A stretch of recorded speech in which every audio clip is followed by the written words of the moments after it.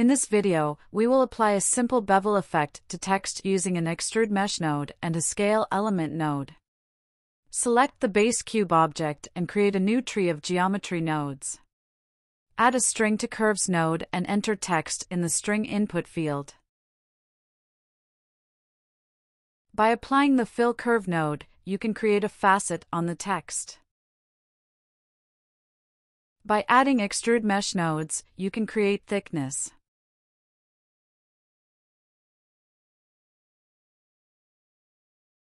To show the bevel effect, apply the extrude mesh one more time.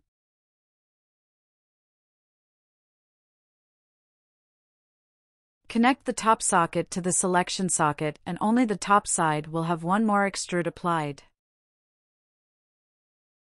Add a Scale Elements node. If you reduce the scale of the top surface where extrude is applied once more, the bevel effect is completed.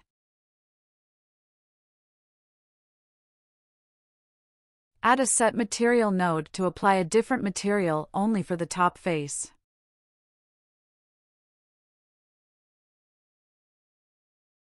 Connect the top socket to the selection socket of the set material to apply only the top side. A simple bevel text is now complete. That's it for this video. Thank you for your time.